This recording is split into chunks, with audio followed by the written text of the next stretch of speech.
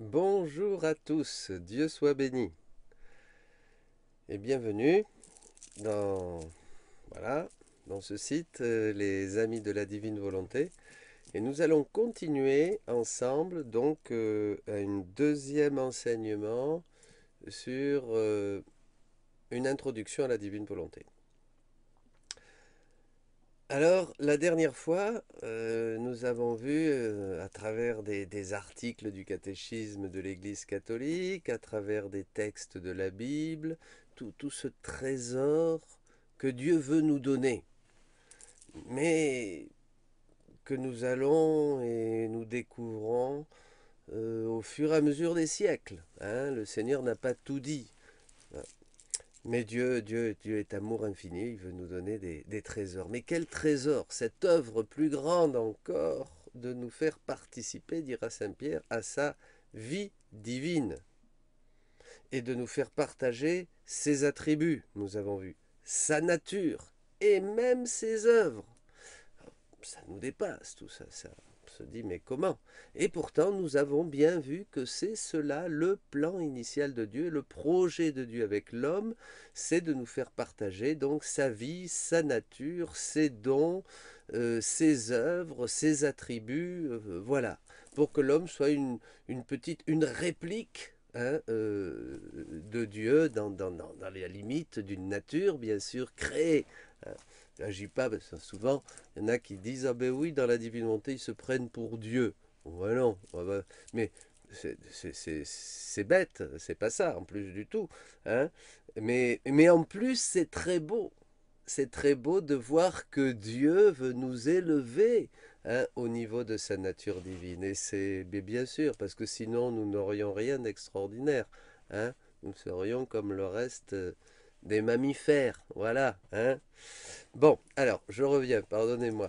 Euh, alors, nous allons un peu, nous allons continuer, découvrir ces, merveilles du Seigneur encore dans cette euh, conférence, Euh, découvrir son, son projet d'amour pour l'homme. Et pour nous, c'est un peu nouveau tout ça. hein, c'est un peu nouveau. Dieu veut nous élever à son image, à sa ressemblance, nous faire revenir à notre beauté originelle. Avec ce don de la divine volonté, Dieu veut nous appeler et revenir à l'ordre, au but et à la finalité, hein, euh, à l'ordre, au rang et à la finalité pour laquelle nous avons été créés, dit Jésus à Louisa. hein. Alors nous avions un petit peu perdu cet horizon, vous voyez, dans notre réflexion euh, théologique, dans notre pratique chrétienne aussi. hein. Un, prêtre me disait ce matin, euh, mais c'est incroyable comme on, on était centré uniquement dans la rédemption, demander, demander, demander, prier, prier, prier, prier, quand on a besoin de quelque chose, prier, prier, demander, demander, demander, prier, Seigneur, Seigneur, Seigneur. Bon, voilà, hein, euh, sauve-moi, sauve-moi, purifie-moi, lave-moi, Amen. Mais bien sûr, hein, on était, mais en fait, le plan de Dieu va beaucoup plus loin. Et nous n'étions pas encore ouverts à ça. Et avec raison, puisqu'on ne s'ouvre aux choses, on ne découvre les choses que dans la mesure où Dieu nous les fait connaître. C'est ça la révélation. Bon. Je, prends le numéro 53, on va en voir encore quelques petits passages. hein. Le numéro 53 euh, du catéchisme de l'Église catholique. Le dessein divin de la révélation se réalise à la fois par des actions et par des paroles intimement liées entre elles, s'éclairant mutuellement. Il comporte une pédagogie divine particulière. Et quelle est cette pédagogie? Dieu se communique graduellement à l'homme. Il le prépare par étapes à accueillir la révélation surnaturelle qu'il fait de lui-même. Vous voyez, c'est ce que nous disions. Il y a une pédagogie divine particulière qui est, qui est graduelle, hein, qui est peu à peu, bah, Dieu, qu'est-ce qu'il va faire? Bah, Comme il nous aime infiniment, il, il nous prépare et par étapes. Hein, ça a commencé avec Abraham, hein, la loi de Moïse, et puis ensuite, voilà, etc., jusqu'à Jésus-Christ. Euh, il nous prépare par étapes à accueillir la révélation surnaturelle qu'il fait de lui-même. Il faut noter que Dieu se révèle donc peu à peu. Il nous prépare. Dieu nous prépare. On n'a pas idée. On se demande jusqu'où tu vas aller, Seigneur? Déjà, quand on contemple le mystère de la rédemption, Dieu a tant aimé le monde qu'il a envoyé son Fils unique pour que tout homme qui croit ne meure pas, mais ait la vie éternelle. Déjà, c'est ouf, waouh. Mais jusqu'où tu vas aller, Seigneur? Et je vais vous dire, on n'a pas idée. On n'a pas idée jusqu'où va aller le Seigneur, d'abord parce que nous avons perdu la capacité de comprendre, ça, tout ça, on le verra. Hein, donc, euh, et en plus parce qu'il est Dieu. Donc euh, Dieu va toujours, au même je crois que si nous n'avions jamais perdu et si nous étions comme Adam avant le péché originel, de toute manière, nous n'aurions pas idée et nous n'aurions des, idées de l'amour de Dieu que, fraction de seconde après fraction de seconde, et ça serait toujours plus beau, toujours plus grand. C'était ça, hein, le, paradis, et c'est ça, euh, la vie du ciel. Bon. Donc peu à peu, il le dit ça. Il dit bien, Jésus, qu'il ne peut pas nous révéler, que Dieu ne peut pas tout nous révéler d'un seul coup. J'ai encore beaucoup de choses à vous dire, mais vous ne pouvez pas les porter, dit-il au chapitre 16 de Saint Jean. Beaucoup de choses. C'est Jésus qui nous parle. Aussi, rappelons-nous qu'après après nous avoir donné, euh, parlé de son corps et de son sang, euh, déjà du mystère de l'Eucharistie, qui, est quelque chose d'incompréhensible hein, pour nous. Hein. il dira, si cela vous scandalise, qu'est-ce que ce sera quand vous verrez le Fils de l'homme monter là où il était auparavant? Dans Jean 6, 61. Voyez bon. Mais, mais, revenons à cet article qui, qui, qui nous permet de faire un commentaire très intéressant. Je continue. Donc le même numéro. Euh, cette révélation que Dieu euh, fait de lui-même, hein, cette euh, révélation surnaturelle que Dieu fait de lui-même, numéro 53, hein, n'oubliez pas d'avoir votre catéchisme, votre Bible, un cahier et écrire, parce que là c'est important d'avoir ces bases. Je parle à tous ceux qui suivent la divine volonté, de pouvoir donner un témoignage, expliquer à un frère, parler à un prêtre, donner les références. Un prêtre, un autre prêtre me disait, c'est très très bien ce que tu fais pour les prêtres, parce que nous les prêtres, il nous faut, il y a un zoom de prêtres, vous savez, tous les 15 jours, nous nous retrouvons, euh, et puis d'autres après voient les conférences, afin de... On a besoin, me disait-il, des bases dans l'écriture et dans la tradition. Et donc ça, c'est important, parce que c'est ce que nous donne l'Église pour cheminer. Alors, euh, très intéressant. Donc, révélation surnaturelle qu'il fait de lui-même et qui va culminer dans la personne et la mission du Verbe incarné Jésus-Christ. Ah, il y a un sommet là. On arrive à un sommet hein, qui va culminer dans la personne. Hein, on va voir. Saint Irénée de Lyon parle à maintes reprises de cette pédagogie divine sous l'image de l'accoutumance mutuelle entre Dieu et l'homme. Qu'est-ce que c'est intéressant. Je me demande comment j'ai fait pour comprendre ça seulement il y a quelques années. L'accoutumance mutuelle entre Dieu et l'homme. Le Verbe de Dieu a habité dans l'homme et s'est fait fils de l'homme pour accoutumer l'homme à saisir Dieu. Et accoutumer Dieu à habiter dans l'homme, selon le bon plaisir du Père. Voyez, il y a une accoutumance mutuelle. Et nous, eh ben, euh, on va peu à peu apprendre, Dieu va nous apprendre à le saisir, à le comprendre, à le prendre en nous. Hein, Ce n'est pas une connaissance intellectuelle, à l'expérimenter, mais, mais surtout à le comprendre, à le faire nôtre pour que lui œuvre en nous et nous œuvrons en lui. Voyez? C'est extraordinaire. Saisir Dieu, que faut-il comprendre? Il s'agit, ben oui, de le prendre. Le Fils de Dieu s'est fait homme pour nous apprendre à prendre Dieu, pour nous apprendre à saisir Dieu, pour nous apprendre à vivre Dieu comme Dieu, à vivre avec lui, par lui, en lui, à faire les œuvres de Dieu, dira Jésus. Voyez? Donc tout ça, ça c'est s'approprier Dieu. Dieu va s'habituer à, habiter dans l'homme aussi.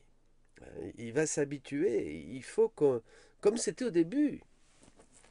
Vous comprenez mes amis? Comme c'était au début. Il s'agit bien d'une accoutumance mutuelle. Alors, nous devons donc revenir à ce plan originel, nous dit le catéchisme, à travers tous ces articles, euh, puisque le catéchisme nous fait voir quelque chose qui était quelque chose qui sera. Hein, c'est pas, ben, c'est du passé, c'est beau, ben voilà, ben, c'est fini maintenant, il n'y aura jamais plus ça. Vous voyez? Donc non, c'est bien ça. Hein, si, on parle des origines, il faut parler d'Adam. Qui est Adam? Mais Adam, c'est le premier être créé par la Trinité. Ce n'est pas une création comme les autres, puisque, on le disait la dernière fois, il n'a pas créé l'Adam avec sa parole, mais il a dit faisons, faisons l'homme à notre image euh, et à notre ressemblance. Dieu, dit le livre de la Genèse, forme d'abord de la terre l'homme, et ensuite Dieu lui insuffle la vie. Dieu se met dans l'homme, hein, il lui insuffle la vie. Cette haleine de vie, c'est Dieu qui se met dans l'homme. C'est pas seulement un souffle rafraîchissant, c'est Dieu qui se met dans l'homme afin qu'il soit un être vivant, c'est-à-dire qu'il vive déjà de, de cette vie que Dieu est. Hein. Voilà, cet homme est donc euh, le modèle euh, et il doit être identique à Dieu. Alors maintenant, avant de, retoucher ce point, on va faire une petite parenthèse, enfin une parenthèse non, parce que nous sommes dans, la même euh, réflexion. Nous allons passer au volume 12, 80, chapitre 80, euh, du 29 janvier 1929. Le Seigneur dit à Louisa, Ma fille bien-aimée, je veux te faire connaître l'ordre de ma providence dans chaque période de 2000 ans, j'ai renouvelé le monde. Dans la première, je l'ai renouvelé avec le déluge. Dans la deuxième, je l'ai renouvelé avec ma venue sur terre, dans laquelle j'ai manifesté mon humanité, de laquelle, qui par tant de fissures, laissait transparaître ma divinité. Vous voyez, c'est très beau, hein, ça. Hein, et, Jésus dit, les bons et les saints de cette troisième période de 2000 ans, donc jusqu'à Louisa, ont vécu des fruits de mon humanité. Des fruits de mon humanité. Et comme des gouttes, ils ont joui de ma divinité, cette divinité qui, un peu comme le mont Tabor, sur le mont Tabor, la transparaissait, hein, euh, comme c'est comme si l'humanité de Jésus avait des, fissures qui laissaient transparaître euh, cette, beauté intérieure, hein, sa, divinité. Ils ont vécu des fruits de mon divinité. Comme des gouttes, ils ont joui de ma divinité. Maintenant, nous sommes près de la troisième période de 2000 ans. Et il y aura un troisième renouvellement.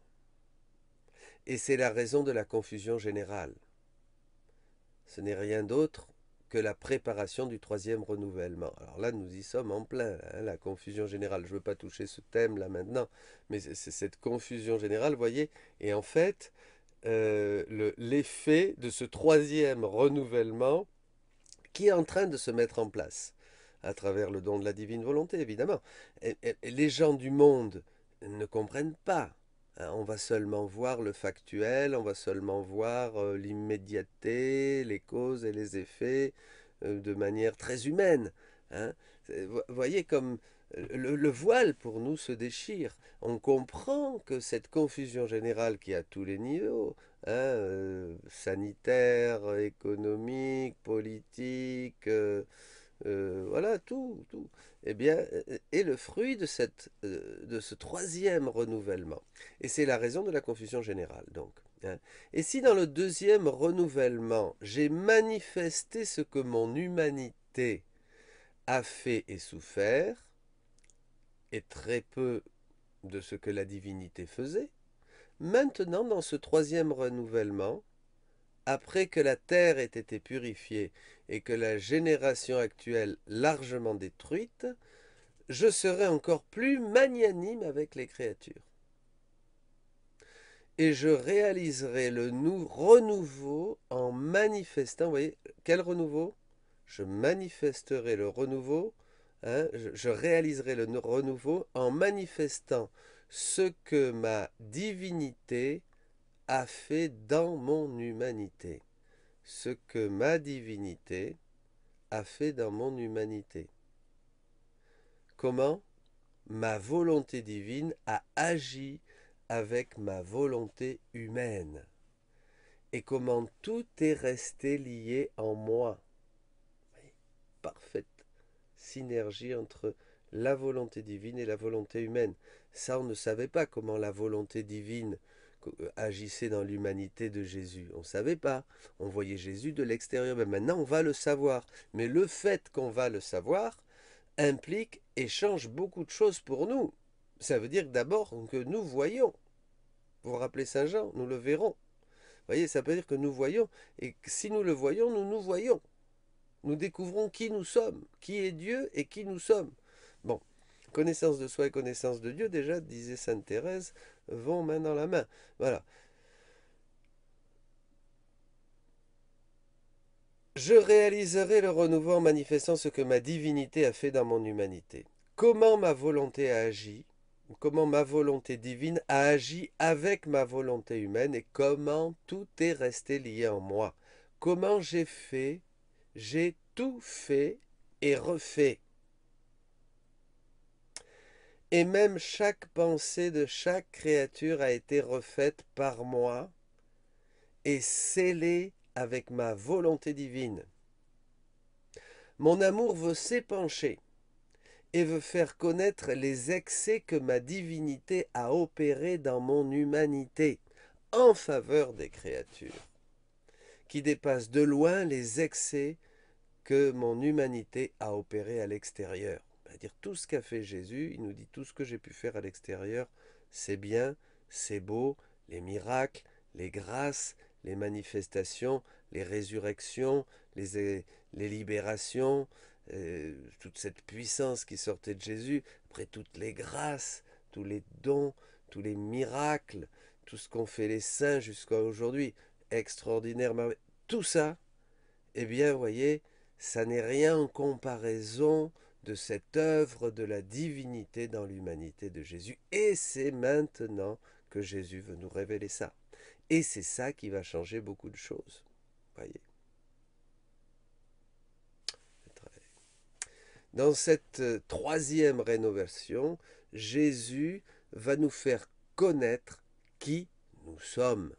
Et c'est là où nous revenons à Adam. Qui nous sommes. Ça va nous faire Ah, je ne savais pas. Voyez qui nous sommes. Et comment?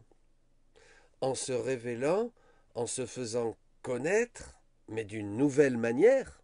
C'est ça, il y a un don nouveau, il y a une nouvelle manière, il y a une révélation. Hein, d'une nouvelle manière, il va nous montrer comment sa divinité agissait dans son humanité.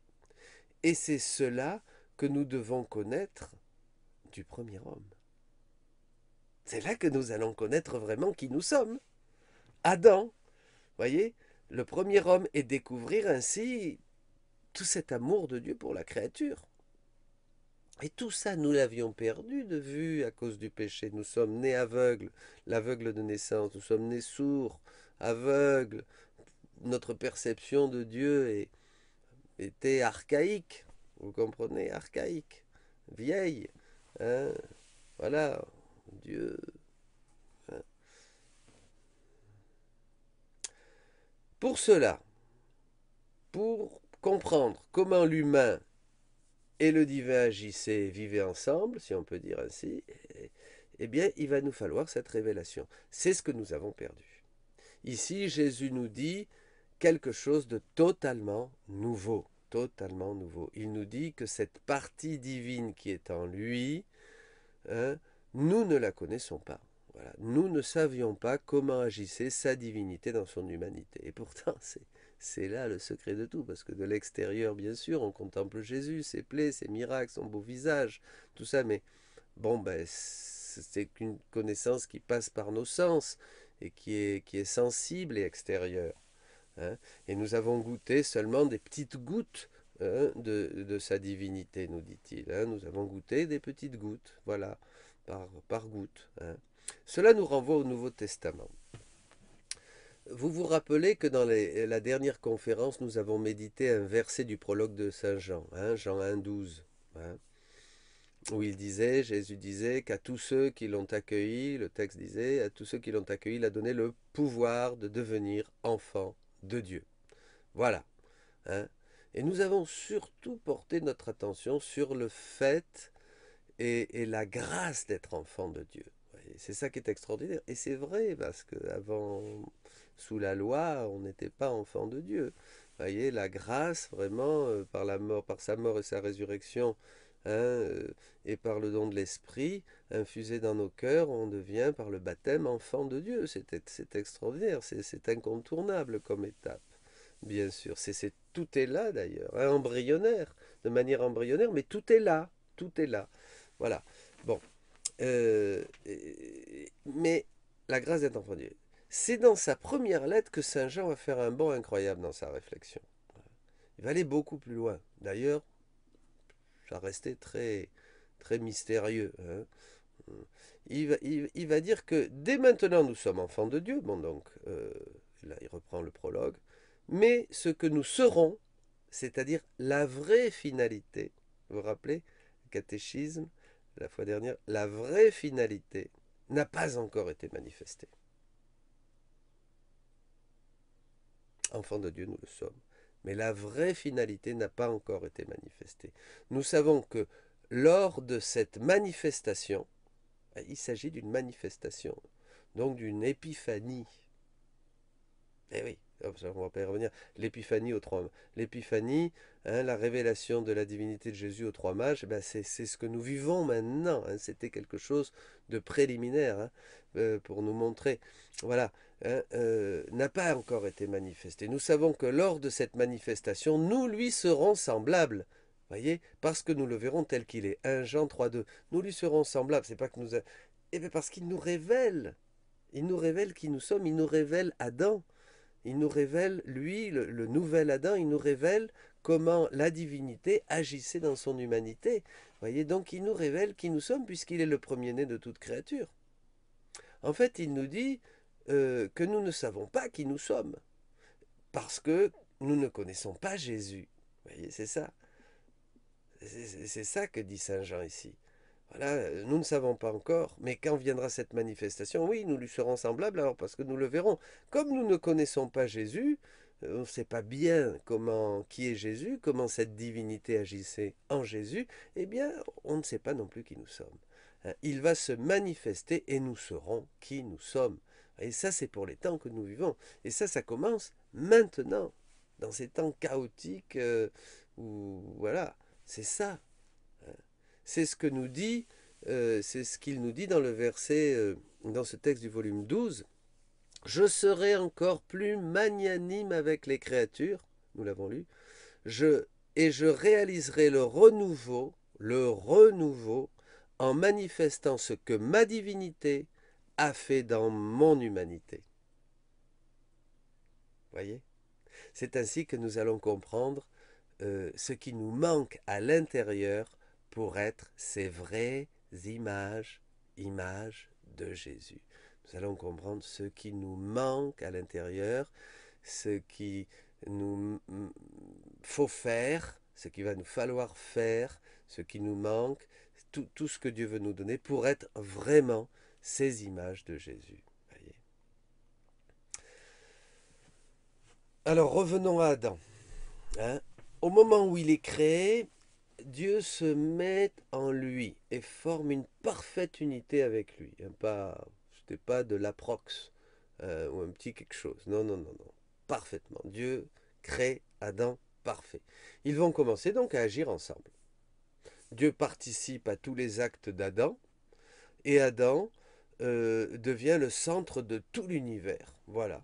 Car Dieu étant lui, hein, eh ben, tout était centré sur Adam, évidemment. Ça si vous aviez Dieu hein, en vous. Euh, évidemment, euh, tout, l'univers est à nos pieds. Hein, tout nous appartient. Hein, puisqu'on porte en nous le, créateur de, tout l'univers, et tout était centré, donc tout convergeait vers Adam. Adam était en plus le paradis de Dieu, euh, ce paradis qui nous est décrit dans la Genèse, c'est Adam. Parce que Dieu, Dieu, cette communion, cette intimité, ces joies du début, comme dit Jésus et tout ça, ben, ces amusements hein, entre, entre le Créateur et la créature, voyez, c'est, c'est, extraordinaire, cette intimité, ben, c'est que Dieu ne, prenait ses délices avec l'homme, se prenait ses délices hein, en, en, Adam, qui récapitulait et tout, voilà. Avant la chute, euh, c'est cela qu'il faut voir. Il y avait une communion très intime avec Jésus. Euh, ça peut nous surprendre, que je dise euh, une communion très intime avec Jésus, mais il faut savoir que pour Dieu, le temps n'existe pas. Hein. Dieu vit dans l'éternité et le temps n'existe pas. Dans l'éternité, il n'y a pas de temps. Donc tout est présent dans l'éternité. Et c'est pour cela que Jésus peut venir et vivre en Adam même. Voyez? Eh oui, on va voir pourquoi. Jésus peut venir vivre en Adam même. Il n'est pas encore venu dans le temps. D'accord, tout à fait. Hein. Jésus vient donc, hein, puisqu'on est là, hein, et vit en Adam, moi en eux et toi en moi, afin qu'ils soient un comme nous sommes un. C'est ce que dit Saint Jean, chapitre 17. C'était ça qu'il y avait. Jésus en Adam et, Jésus en Adam, Dieu était en Jésus, bien sûr, c'est par Jésus, vous voyez. Hein et, Adam était un avec Jésus, avec le Père, avec l'Esprit, avec le Créateur. Les trois faisons l'homme. Vous comprenez hein cette parole peut se réaliser, elle s'accomplit, l'homme forme une parfaite unité afin qu'il soit parfaitement un comme nous sommes un. L'homme formé, Adam formait une parfaite unité avec Dieu. Et ainsi, euh, il était vraiment à son image et à sa ressemblance. Dieu voit ensuite qu'Adam a besoin d'une compagnie. Mais pas seulement une compagnie pour la joie d'être ensemble, mais d'une compagnie qui lui est adéquate voyez Donc Dieu veut reproduire ses êtres, car ce sont ses enfants. Voilà, Dieu, Dieu est un père de famille. Voilà. Et donc euh, ici, euh, il va compléter, hein, se, complète la, formation de l'homme. Hein. Voilà, se complète la formation de l'homme. Pour qu'il y ait cette reproduction, il faut une compagnie adéquate. Et ici vient l'allégorie de, de, la côte, pour montrer qu'Ève doit avoir la même nature qu'Adam. Si Dieu avait créé Ève, elle n'aurait pas été de la même nature. En sortant de la côte d'Adam, elle est de la même nature et par conséquent, elle est parfaitement complémentaire. Voyez. Ne peut pas développer trop ce thème, mais c'est très important de voir que voilà, c'est Adam et Ève forment une seule et même personne. Avant de former Ève, Dieu présente d'ailleurs à Adam tous les animaux un par un, il donne un nom à chacun, mais ne trouve aucune compagnie qui lui convienne.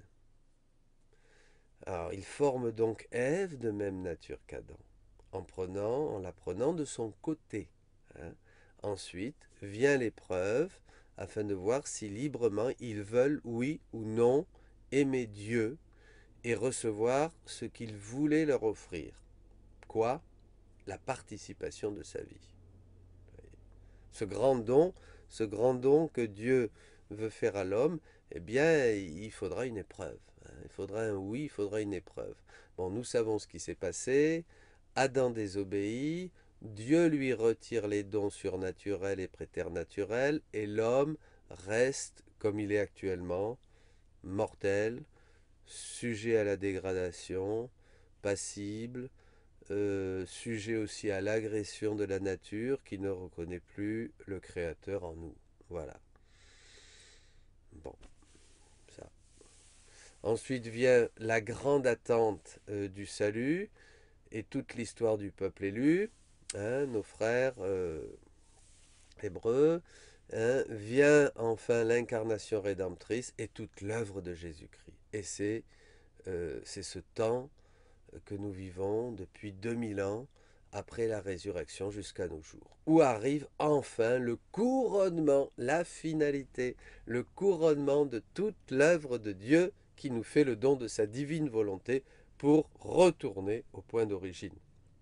Pour retourner, voilà, hein, euh, ben, à l'ordre, au rang et à la finalité, dira Jésus, pour laquelle nous avons été créés, c'est-à-dire cette intimité, ces joies du début, cette communion d'attributs, de vie, de nature, de divine de volonté divine, etc. etc. Vous voyez toute l'histoire du salut. Hein. il faut comprendre bien toute cette histoire du salut pour comprendre ce don euh, de la divine volonté qui est le couronnement, l'achèvement, le plus grand des dons que Dieu pouvait faire à l'humanité, puisque tout a été préparé pour ça. Tout, n'était que préparation. On va approfondir hein, tout ça. Euh, voilà. Quelle est la finalité de Dieu avec Louisa? Eh Jésus dit à Louisa dans le livre 1, J'ai sur toi de grands desseins. Toujours dans la mesure, euh, toujours et dans la mesure où tu me corresponds. Je veux faire de toi une parfaite image de moi. Quand, Dieu parle, quand Jésus parle à Louisa, il nous parle à tous, hein, c'est pour nous. Commençant de ma naissance et jusqu'à ma mort. Moi-même, je t'enseignerai peu à peu la manière de le faire. Ah ben, la bonne heure. Hein. Donc, euh, voilà. Et, à travers ça, eh ben, Dieu nous, nous dit quelque chose. Jésus nous dit quelque chose. Il, veut quoi? Il, veut de la compagnie. Voyez? Il veut de la compagnie. Dieu, Dieu aspire à cette intimité, à cette compagnie. Ma fille, dit-il, si tu savais comme je désire, je soupire, aime la compagnie de la créature, à tel point que lorsque j'ai créé l'homme, j'ai dit, il n'est pas bon que l'homme soit seul. Faisons une autre créature qui lui ressemble et lui tiennent compagnie, afin que l'un fasse les délices de l'autre. Hein, c'est ce que nous avons vu. Dieu a cherché une compagnie adéquate à l'homme. Mais Jésus rajoute, ces mêmes mots, avant de créer l'homme, je les ai dit à mon amour, au sein de la Trinité. Je ne veux pas être seul, hein, mais je veux la créature en ma compagnie. Je veux la créer pour m'entretenir avec elle. Je veux la créer euh, dans, le texte hein, euh, en italien pour jouer avec elle, pour partager tout mon bonheur avec elle, pour jouer avec elle, partager tout mon bonheur avec elle, pour partager avec elle toutes mes joies et avec sa compagnie, Hein, en elle, je me déverserai totalement, je déverserai totalement mon amour. Voyez, la folie de l'amour de Dieu, la folie de l'amour de Dieu. Et c'est ça que Dieu, hein, Dieu dit qu'il veut répandre dans l'homme tout son amour, l'aimer avec son propre amour et recevoir en retour, c'est ça, ce même amour de la part de la créature. C'est la finalité du plan de Dieu mes amis. Alors, un autre texte du volume 29-31, 3 août 1931. Volume 29, 3 août 1931. Ma fille, la création de l'homme était le centre où notre divinité concentrait tous les biens qui devaient surgir dans la créature. Tous les biens nous y avons placé la vie divine et la volonté divine, la vie humaine et la volonté humaine. La vie humaine devait nous servir de demeure, d'habitation. La vie humaine, dans le plan de Dieu, doit lui servir d'habitation pour qu'il puisse déployer sa vie à travers nos sens, à travers nos organes. je, je, ferme la parenthèse. La vie humaine devait nous servir d'habitation. Et les deux volontés fondues ensemble devaient faire la vie en commun. Une vie commune. C'est-à-dire tout est en commun. Rien n'est plus à l'un qu'à l'autre. L'un donne tout, l'autre reçoit tout, mais tout est en commun. La créature devait être une habitation, une demeure pour Dieu. Souvent nous avons mentionné que nous sommes un, vêtement qui cache la divinité. C'est ça dans le plan de Dieu. Comme dans Jésus. Comme en Marie. Hein? Dieu va se mettre dans ce vêtement humain. Il va être en chacun euh, et en tous. Tous nous allons avoir une apparence différente. Euh, François va rester François, Paulette va rester Paulette, Michel Michel, Claude Claude, euh, voilà, Rosie Rosie, tout, tout, tout, tout, tout, tout, tout, chacun va être unique, mais tous vont, vont être un voile qui cache cette divinité qui, qui a tout pris dans l'homme. Voyez?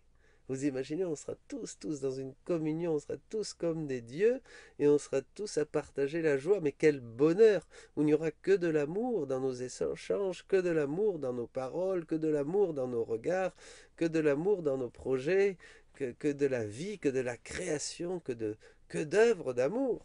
Hein? Voilà, fondus ensemble. La volonté humaine ne disparaît pas, mais les deux en forment une seule. Une seule la volonté humaine garde l'initiative, ah oui, et le mouvement, et la volonté divine met tous les attributs qui vont se mettre en action. C'est ça, cette synergie. La volonté humaine, moi, je vais agir dans la divine volonté, je vais demander à la divine volonté d'agir en moi, donc je vais mettre, ben je vais agir, je vais mettre tout en mouvement, mais la volonté divine, va mettre tous ses attributs, et ça, ça va faire que mon œuvre, aussi petite soit-elle, sera une œuvre divine. Vous comprenez? Qui mettra en branle le ciel et la terre. Les bienheureux du ciel, on dit, mais quel est celui-ci? Quelle est celle-là qui veut nous embrasser comme ça, là? Mais d'où ça vient, cette histoire? Vous voyez, les saints, ils, ils en peuvent plus là-haut. Ils se disent, mais qu'est-ce qui se passe? Vous vous rendez compte, si vous n'arrêtez plus de faire des actes dans la divine volonté, mais vous allez les rendre fous Hein? bon, voilà, donc non, on reviendra sur ces choses. Hein, là, on fait un petit bond, mais voilà. Alors, euh, et les deux volontés, je reprends le texte, hein, fondues l'une dans l'autre, devaient faire une vie commune, avec le plus grand accord. Ah, pas d'embrouille, là. C'est fini. L'embrouille, c'est la volonté humaine qui s'oppose à la volonté divine. C'est ça qui s'est passé. Au contraire, la volonté humaine devait puiser dans la nôtre pour former ses actes. Ben, c'est la source. Et la nôtre devait être dans un acte continu de donner, donner, donner ce qui est à elle pour que la volonté humaine soit modelée et toute uniformée dans la volonté divine. Il n'y avait pas de, pas de dispute, vous voyez Pas de dispute. Voilà, la volonté humaine recevant tout ce qui vient de Dieu, et le mettant en mouvement, et la volonté divine dotant, donnant tout ce qu'elle possède à la volonté humaine. Et là, nous faisions des actes divins. Un acte divin, une vie divine, un acte divin, une vie divine, un acte divin, une vie divine, etc., etc., etc. Voyez, et toute la création euh, recevant tous ces bienfaits qui viennent de l'homme qui fait les œuvres de Dieu. La création qui attend cette révélation. Tout ce dont nous parlons ici, Adam va le perdre suite à l'épreuve. C'était comme ça au début. Il va sortir du paradis terrestre et nous pouvons voir que de manière cachée, Jésus était là. Dans ce, dans ce texte de Genèse 3.22, hein, euh, Jésus était là. Euh, va sortir du paradis. Le texte dit que puis le Seigneur Dieu déclara, Voilà que l'homme est devenu comme l'un de nous, par la connaissance du bien et du mal. Maintenant, ne permettons pas qu'il avance la main et qu'il cueille aussi le fruit de l'arbre de vie, qu'il en mange et vive éternellement. Bah oui, alors là, le, châtiment, le châtiment c'était de mourir, alors là, ça devenait euh, réversible. Voyez, euh, une des conséquences du péché, c'est la mort. Car en perdant les dons préternaturels et surnaturels, l'homme devient passible de mort, hein, et doublement. Une mort physique et une mort spirituelle. La mort physique, nous savons de quoi il s'agit, et la mort spirituelle, eh ben, c'est la séparation avec Dieu, hein, et qui peut être une condamnation, une condamnation éternelle.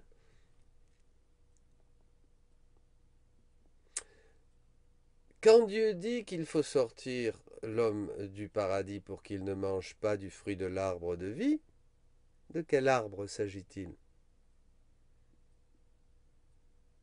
Hmm?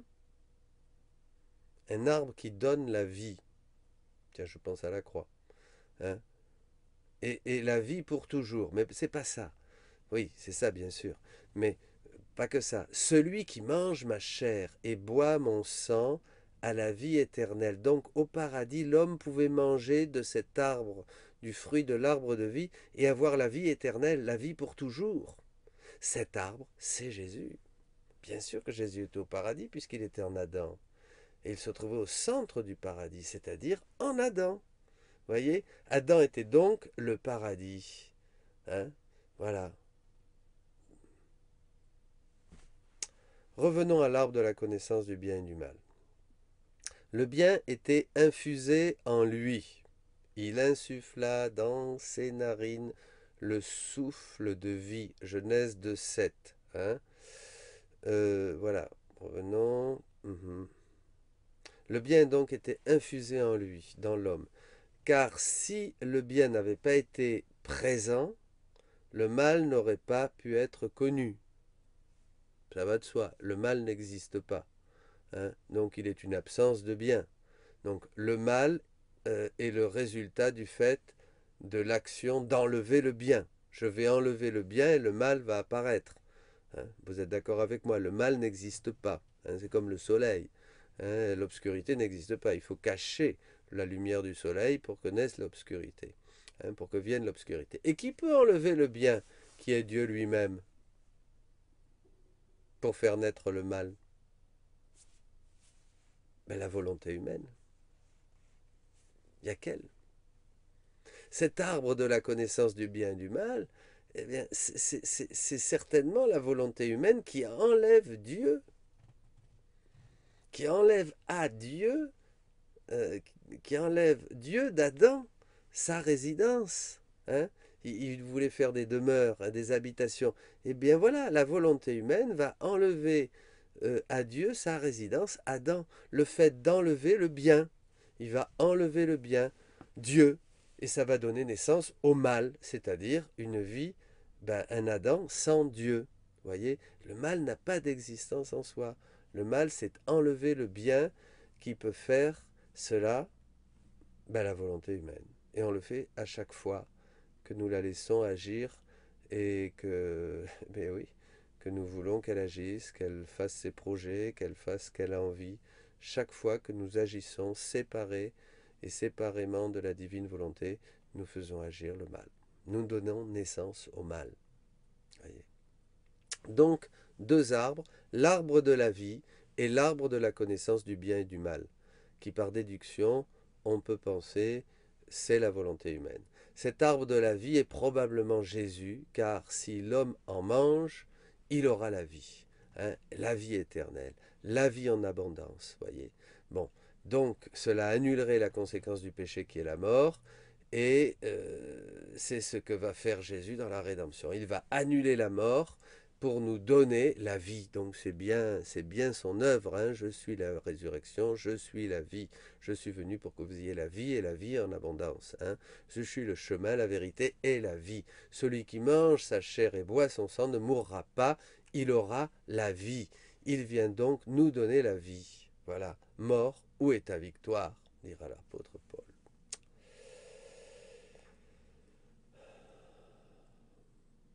Le double paradis, oui, le paradis est double. Hein, une petite note. Paradis est double. Pour Dieu, qui était avec l'homme, à son image et à sa ressemblance, et avec qui il vivait en compagnie. Et paradis pour l'homme qui avait Dieu en lui. Voilà. Hein, quand vient la séparation à cause de la faute, les deux, Dieu et l'homme, perdent le paradis. L'homme perd cette proximité merveilleuse avec son, Dieu, qui était son tout, son paradis, et le Créateur, Dieu, perd la compagnie de sa créature avec qui il agissait dans l'amour. Mais le grand perdant, nous le verrons dans cette histoire, euh, c'est Dieu. Le grand perdant, c'est Dieu. Voilà, mes amis, donc on va en conclusion, on voit que l'homme a été créé comme Dieu. Tu l'as fait un peu moindre qu'un Dieu, dit la Bible. Ce qui s'est passé dans le paradis va se répéter euh, dans le sein de la Vierge Marie. Cette humanité qui vient d'Adam est une humanité qui vient de, cette génération qui n'est pas encore dans, la lumière, hein. c'est-à-dire les créatures, génération des ténèbres, dira Jésus, c'est-à-dire des créatures qui ont perdu la lumière, la grâce, et aucune ne pouvait se sauver et entrer au ciel. Les bons qui méritaient le ciel sont partis dans le sein d'Abraham, un lieu sans peine ni gloire afin d'attendre Jésus et la rédemption, afin de recevoir la vie de Jésus, l'arbre de vie qui vient se nourrir euh, de sa vie abondante, qui est la résurrection. Hein. Voilà, c'est ça. Nous, terminons ici cette, cette introduction et nous commencerons à parler de la divine volonté.